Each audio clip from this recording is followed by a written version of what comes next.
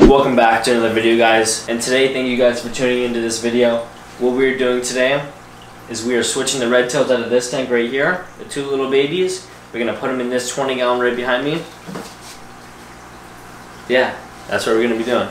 And if you guys are ever wondering how I stay so motivated to keep myself up with the videos and do all this stuff and wake up, today I filmed two videos, I edited one and I posted it so I'm not trying to say anything, but I do a lot for you guys, but I don't even think you guys understand it. How I do it is I go on my phone in the morning and after I do uh, usually one video because sometimes I film two videos in a day and if I do film two videos in a day or to keep me going I watch Gary Vaynerchuk and he is absolutely a great inspiration to me and it just keeps me motivated to go and film as many videos everything that I can in my ability for you guys for the family and these two little guys are about three inches now. Oh, maybe a little bit bigger than that, honestly. Uh, I don't know, they're pretty much three inches. We're gonna put them in this tank right here, so let's get started with taking this top off, even though it's gonna be blinding for you guys. And I think it's time to put some fish in here.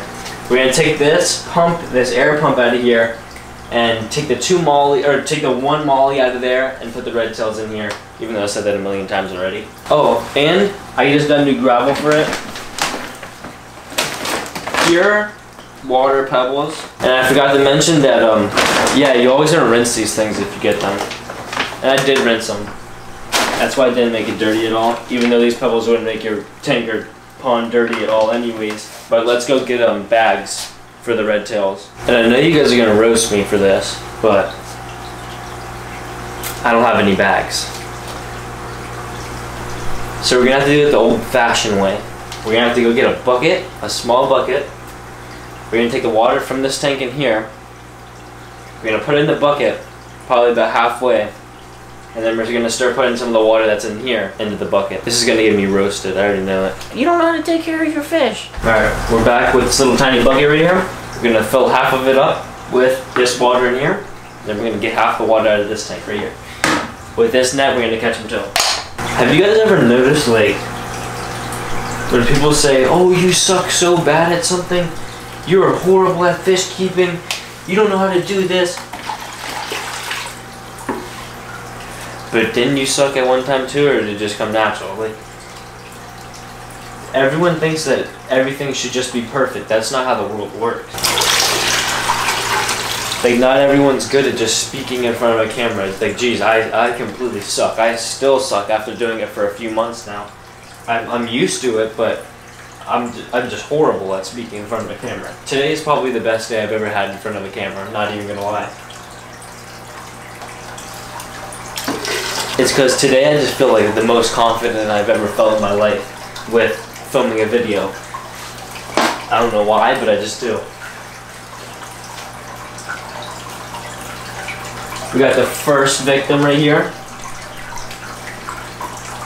We got this Molly, or the Platy, the live bear. We're gonna stick him in here.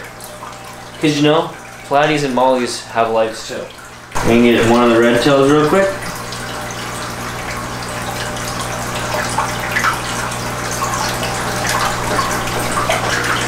Here's the first red tail. Oh, they're so cute. Look at him. He's so cute.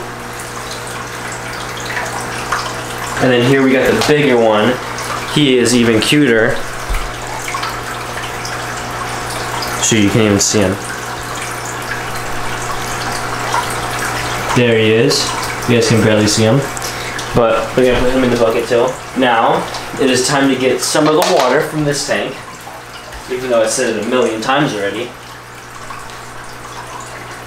We're going to take half a scoop by half a scoop. Half. We're going to put it in there.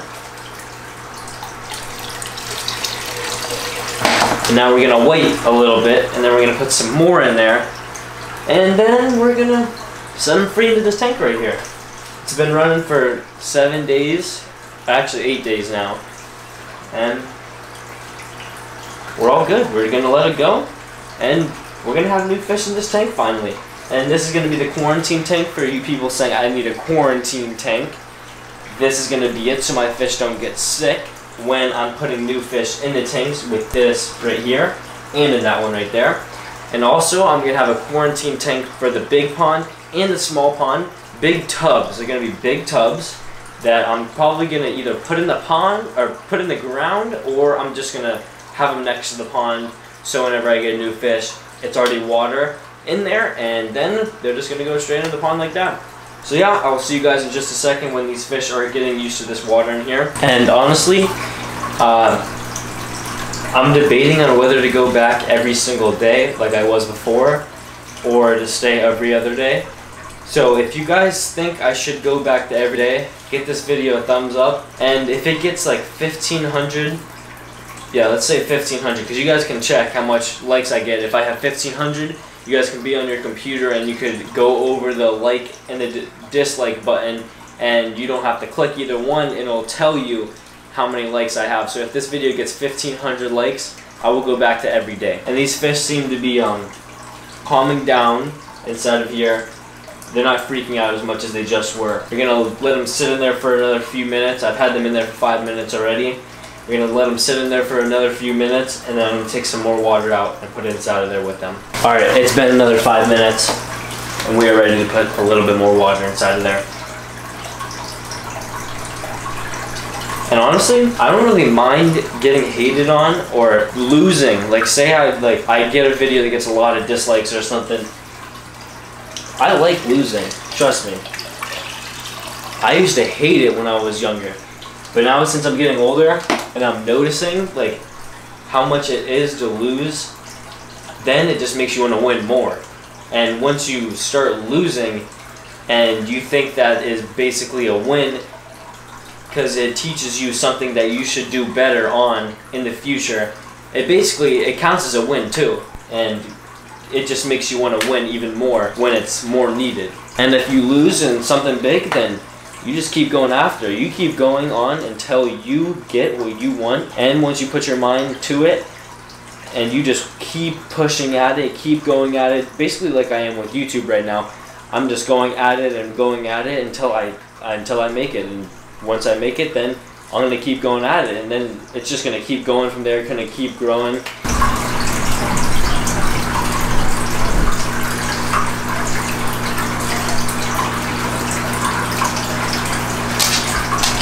Alright, Biscuit. It's time to put them in. They're ready. They're ready to go in. They've been in here for a total of 25 minutes now. Full acclimation with these little guys right here. Because I don't know if you guys know this about me, but I really care about animals and I really care about my fish. I don't just impulse buy like everyone says I do. I get my fish and do you see all these fish over here? You guys probably can't see them right now. But all these fish right here, I've had since they were this big for a while now. And some of them I didn't even video because I really just wanted the experience of going to buy the fish and getting to pick out the fish that I wanted. These are the two guys that I filmed though, and the shovel nose that is in there. I got you. Because you can't cross-contaminate your tanks. Here's the first red tail.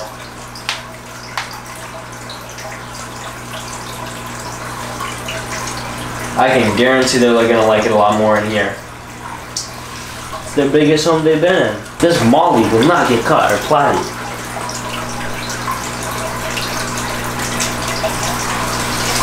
Biscuit, no. Can't eat them. Not for you. And the thing is, you don't want to just throw them in the tank and get their fins caught in the net.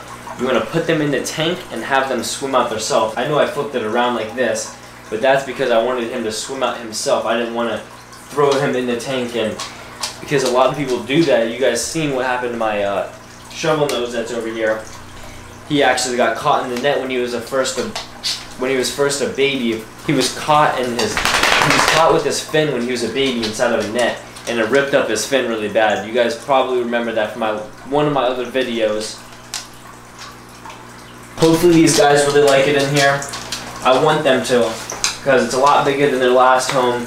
I just feel like they'd be a lot happier in a bigger tank. And guys, trust me, with all these fish in here, they're not just to be put in the big pond like you guys think they're to be put. And if you guys have fish and you just put them in a tank, this is something you do not want to do right here.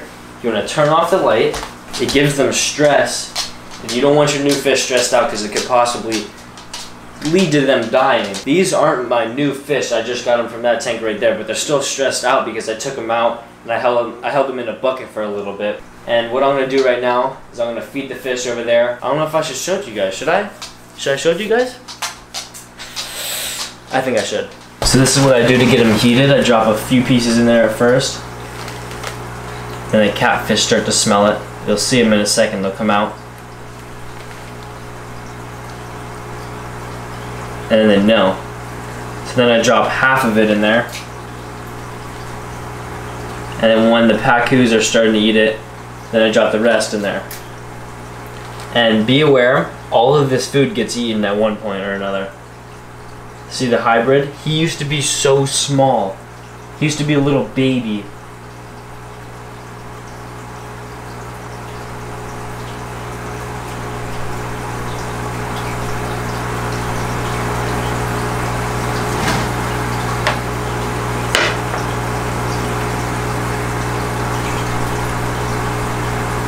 The shovel nose wants to come out. He's in the back. He wants to come out, but he won't. It's so weird. It's the weirdest thing. Oh, Oscar. Boom. Like, I'll wake up and there'll be no food left inside of the tank. Ever. Oh, I think the shovel nose stayed in the back. Or he got messed with or something. Because I seen him freak out.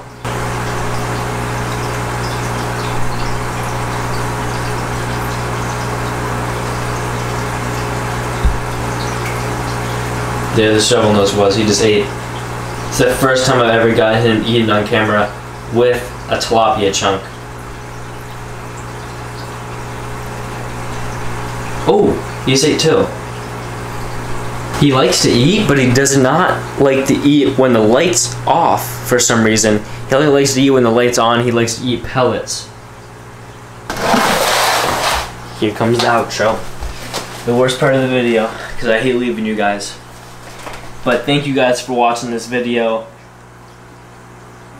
What should I end my videos off with now?